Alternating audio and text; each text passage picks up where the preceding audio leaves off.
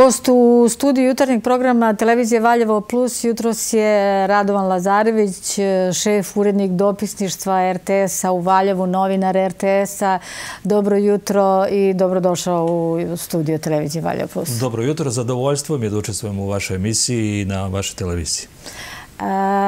Evo, ti si nedavno dobio nagradu, o tome se govorilo uglavnom na nacionalnim televizijama. Mi više puta smo kontaktirali, ali evo ti nisi uspevao zbog obaveza da dođeš e, u studiju televizije Valjo Plus i da popričamo o toj nagradi. E, radi se o nagradi koju se dobio na festivalu dokumentarnog filma e, u kategoriji Volja za životom. Evo, ti ćeš nam reći tačan naziv tog priloga ili filma e, za koji si dobio nagradu, o čemu se tu tačno radi? E, u pitanju je festival dokumentarnog filma u Velikoj plani koji se svake godine održava. E, moj film Pola veka u kućnom pritvoru dobio je Grand Prix festivala u kategoriji Volja za životom. U pitanju je jedan film posvećen Radu Andriću iz E, Valjevskog sela Oglađenovac, e, čoveku koji je rođen e, hendikepiran i koji je zbog toga pola veka morao da provede izolovan od javnosti. Bila je sramota pre pola veka da se čuje u selu kako porodica ima hendikepirano dete.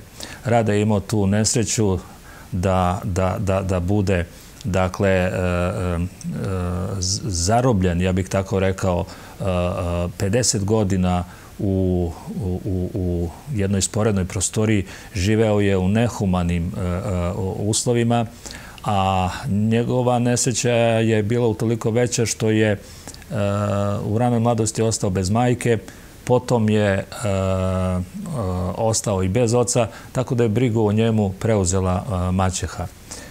Dugo je vremena prošlo, slučajno je lokalni sveštenik e, otkrio da e, on živi u takvim uslovima. Zainteresovao je selo, e, organizovali su se, prikupili su puno sredstava i pomogli radu da ugleda svetlo dana. Tada kada se organizovala ta akcija u selu, ja sam sa svojom ekipom učestvovao u pripremanju tog filma i nećete verovati, Rade koji je inače e, e, bio nepokretan i koji je teško govorio, e, na moje pitanje kako mu sve to izgleda, uspeo je da progovori jednu rečenicu. To je bilo zaista dirljivo i nešto što i danas pamtim što me ovaj, ovako potrese.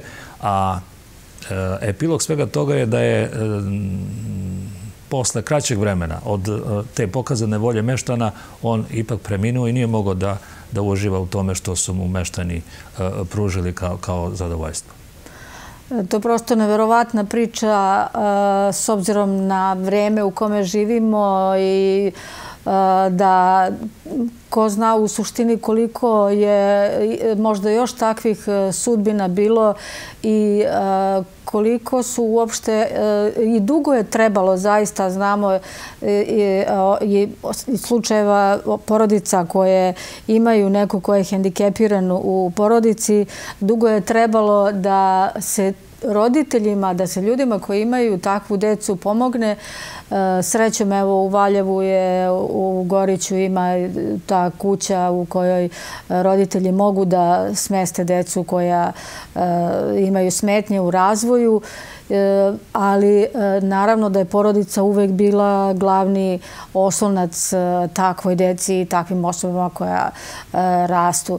Ali je svakako neophodno pomoći i porodici i roditeljima da bi imali trenutke predaha i Ehm, eto sad ta nagrada mm, i ta priča, pretpostavljam da je da će možda podstaći i još nekoga ko zna tako nešto pa da prijavi da kaže šta se dešava u takvim e, porodicama. Pa ja sam siguran i drago mi je da naše društvo sve više pokazuje pažnje prema takvim slučajima. A inače, e, dok sam pričao o ovom filmu o svojim prijateljima, e, od nekih sam čuo da takvih slučajeva ima još u našem kraju, pogotovo u nekim joničkim selima. Tako da ja očekujem da o tom problemu E, govorimo sve otvorenije i da se e, svuda tamo gde je potrebno pruže akcije da se prevaziđu te barijere i da shvatimo da su i ti ljudi e, ravnopravni sa ostalim ovaj, članovima porodice i da treba da uživaju pažnju kakvu imaju i svi drugi. Ti si moglo bi se reći posljednje vrijeme, u stvari evo e, još 2014. si dobio čak nekih pet nagrada e, Sad evo 2016. počeo ovom nagradom. E, da li je bilo još nekih umeđu vremenu u 2015. a da sam ja sad to nešto preskočila pa da ne znam? E, nije bilo prošle godine. Evo, ovaj, ja sam za ovu godinu pripremio još dva filma, tako da ću učestvovati na još nekoliko nekoliko ovaj, festivala i domaćih i i međunarodnih. A u stvari, prošle godine sam učestvao na jednom ovaj, međunarodnom festivalu u Slovačkoj i Ukrajini. Više sam bio kao gost nego kao takmičar tog festivala. I sad ono što je zanimljivo, odlazeći na te festivale, ja želim da skrenem pažnju na rad dopisničke redakcije RTS-a kojoj pripadam. Jer Eh, uglavnom eh, se o o tim našim eh, dokumentarnim filmovima malo priča. Oni se uglavnom vide na drugom programu. Manja gledanost nego ovaj, na prvom, jer se na prvom pažnje pridaje više informativnim sadržajima. Tako da je to prilika da se Ovaj, skrene pažnje na rad e, dopisničke redakcije, jer sve te e, glavne nagrade na tim festivalima dobijaju ljudi iz, e, kada je u pitanju moja kuća, znači e, iz RTS-a dobijaju dopisnici. I prilika je i da se sa ljudima koji učestvuju na festivalima razgovara o trenutnom stanju u našoj profesiji, o stanju dokumentarnog filma, šta to treba učiniti da da, da, da se stvari pomere sa sa, sa mrtve tačke. Što se tiče dokumentarnog filma, zaista nema toga dovoljno. Naravno što novinari na lokalu teško mogu da naprave neki film zbog malobrojnosti redakcija. A ima zaista situacija koje e, treba zabeležiti i koje možda evo mogu i da pomognu nekim ljudima, a nekad jednostavno zabeležiti da se nešto dešava. Drugi program RTS-a je zaista Evo, ja sam pre neki dan baš gledala i često gledam drugi program i pomislila sam da treba da bude više takvih emisija kao što ima na drugom programu RTS-a i smatram da bi svest našeg naroda možda bila drugačija kada bi se gledale emisije tog tipa jer zaista ima dosta i obrazovnih priča, priča o turističkim potencijalima Srbije. Zaista dobar je drugi program. Ali, nažalost, politika je u prvom planu politika je u prvom planu, eh, a još više eh, ono što, u čemu narod eh, kao da traži neki zaborav od teške svakodnevice, to su reality programi i već šta sve ne. Znači, zbog toga sam rekla da bi bilo dobro da je više ovakvih e, emisija kao što ima na drugom programu RTS. A evo, e, kad smo već kod položaja novinara e, o dopisništvu RTS-a, odnosno o prostorijama i zmeštanju dopisništva RTS-a iz prostorija u kojima trenutno boravi, bilo je pre izvestnog vremena nekih napisa. Šta se dešava na tom planu? Pa, Ta informacija je tačna. Znači, mi tražimo adekvatan prostor u centru grada. E, pre mm, mesec i po dana bio je u Valjevo generalni direktor RTS-a zajedno sa svojim saradnicima i tada smo se dogovorili da zbog e, e, smanjenja troškova poslovanja dopisništva pronađemo neki manji prostor u centru grada. zapravo prostorije u kojima se mi sada nalazimo na pećini su velike površine, negde oko 900 kvadrata. Veliki su troškovi pre svega grejanja. E, zajedno u zgradi sa nama je emisijona tehnika, tako da su stvarno veliki troškovi i ti zahtevi rukovodstva kuće su opravdani i mi ćemo se, nadam, se ovog leta iseliti u neki drugi prostor. U izgledu su dve, tri lokacije. Ne bih sada da e, pominjem koje, ali eto, u svakom slučaju očekujem ovog leta da ćemo preći u nove prostorije u centru grada. Evo, pomenuo si emisijnu tehniku, mi nešto imamo problema povremeno. Sad sam na početku e, rekla da juče televizija Valjevo nije bilo tona ovaj, e, zbog toga što taj uređaj za rashlađivanje nije radio. Tako da je jutro stek to otklonjeno. Šta se dešava sa emisijnom tehnikom? Hoće li ona ostati u tim prostorijama ili... Da, da, emisijna tehnika će ostati u tim prostorijama.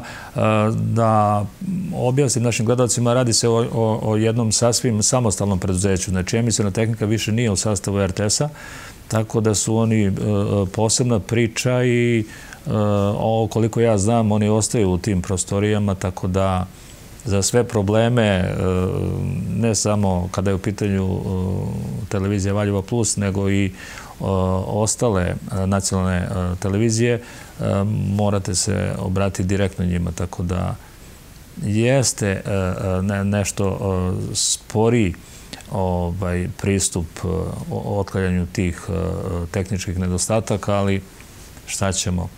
Tako nam je sudbina. Da, prelaz na digitalizaciju je bio e, veliki skok za sve, ali očigledno da još uvek ima nekih, što se tiče tih tehničkih stvari, ima tu još e, naknadno rešavanja tih nekih spornih situacija, ali nadajmo se da će ih biti što manje u narednom periodu.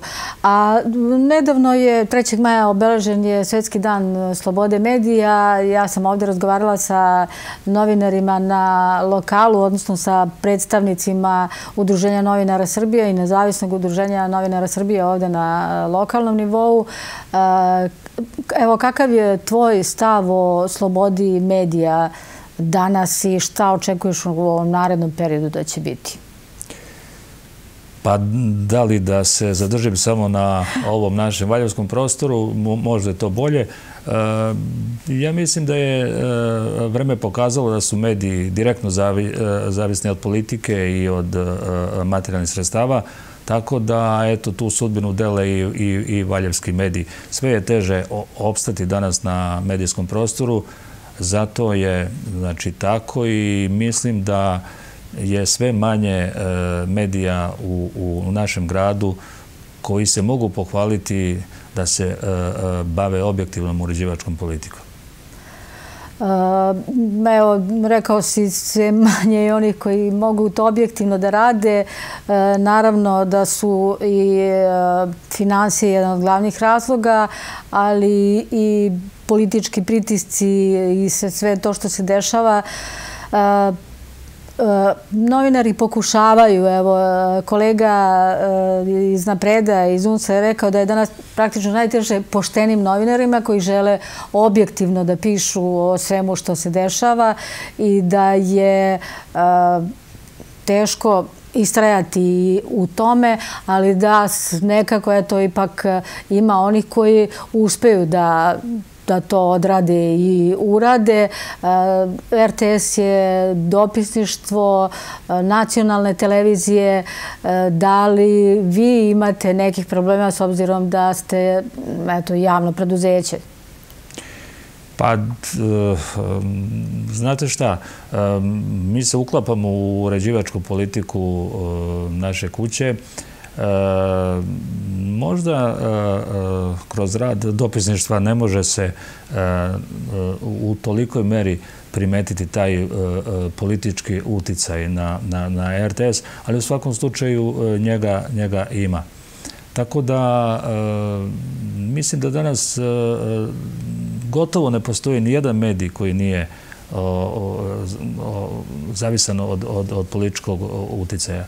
I ja bih se složio sa mojim kolegama, dakle, najteže je e, e, biti danas e, objektivan novinar, ne samo zbog odolevanja raznoraznim pritisima, nego zato što su takvi novinari i najmanje plaćeni danas u novinarstvu. Dakle, ako ste politički poslušnik, onda ćete imati sve. I novac i neke druge privilegije. Tako da, zbog toga kažem da je novinarstvo u krizi i da možda e, e, e u posljednjih e, deseta godina nikad nije bilo teže vreme za medije. E, Pa evo, nadajmo se da će se nešto menjati na tom planu, mada eh, neki predviđaju, evo ja sam čitajući baš podom eh, tog e, Svetskog dana slobode medija, da mnogi tvrde da će biti još teže i da uopšte održati profesionalni nivo koji je neophodan u novinarstvu, ali da eto, uvek ima naravno onih koji se bore za to i koji se trude da to bude onako kako i jeste zaista, jer e, istina je jedina e, objektivna e, informacija koju gledaoci, u ovom slučaju gledaoci, a naravno i čitaoci i slušaoci treba da imaju kao nešto što načina koji će biti obavešteni o nekom događaju ili mm, onome što se dešava oko nas. Evo, meni ostaje da ti se zahvalim na ovom gostovanju u jutarnjem programu televizije Valjevo Plus, e, da ti poželim još e, neke nagrade i e, naravno da imaš dovoljno vremena da snimiš još neke dokumentarce, jer to je potrebno i neophodno u novinarstvu da eh, eto, bar eh, neko može da uradi nešto i na tom planu. Važno je, rekla sam, i za one koji imaju nekih problema, a naravno i za sve ono lepo što se dešava oko nas. Hvala i vama. Želim dobru gledanost televizije Valjevo Plus. Nadajmo se da će, da ćemo se videti uh, više u narednom periodu, da će e, gledam gledanost je dobra, tehnički imamo eto, problema tih povremeno sa e, prijemom tona ili slike, ali očekujemo da ćemo uskoro biti vidljivi na E, više kablovskih mreža nego do sada, ali kad e, ja sam jednom najavila, pa se to nije desilo, sad već neću da najavljujem, nego ću reći kada se to bude desilo. Hvala ti još jednom na gostovanju u jutarnjem programu televizije Valjo Plus i naravno čestitke na nagradi koju si osvojio. Hvala.